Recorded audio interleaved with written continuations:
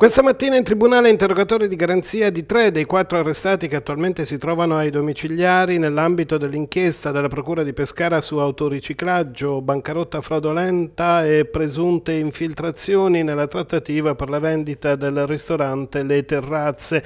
Davanti al giudice per le indagini preliminari Francesco Marino, al procuratore aggiunto Anna Rita Mantini e al pubblico ministero Luca Sciarretta, in due hanno deciso di avvalersi delle facoltà di non rispondere. Sono Anna Paola Cavaliere, che secondo la l'accusa sarebbe prestanome della società riconducibile all'imprenditore napoletano Pasquale Garofalo, recluso nel carcere a San Donato a Pescara, e il contabile Enzo Mazzocchetti. L'avvocato Claudia Rincecco, legale difensore di Anna Paola Cavaliere, all'uscita dall'aula ha dichiarato ai giornalisti avremo molto da chiarire di questa vicenda, abbiamo letto parecchio degli otto faldoni della procura, ma dovremmo leggere ancora tanto delle 14.000 pagine prodotte dai magistrati. Nelle prossime occasioni avremo modo di delineare il quadro riguardo alla nostra assistita. Un semplice no comment invece da parte di Alessandro Cavaliere, avvocato di Enzo Mazzocchetti.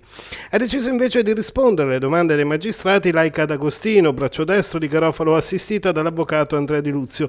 In particolare ha fornito elementi riguardo al suo rapporto di lavoro con Garofalo, ai contatti con gli ex gestori del ristorante, la famiglia di Natale, alle società facenti capo a Garofalo, ma anche alle vicende di un'altra inchiesta della Procura di Milano che ha visto coinvolto l'imprenditore napoletano. L'obiettivo della pubblica accusa è quello di raccogliere ulteriori informazioni riguardo a ipotesi come l'autoriciclaggio e la bancarotta fraudolenta, ma anche a presunti legami di Garofalo con la criminalità organizzata, in particolare la Camorra. Legami peraltro seccamente smentiti nell'interrogatorio in carcere di mercoledì scorso, come ha ribadito questa mattina il suo legale Antonio Valentini, presente in tribunale a Pescara.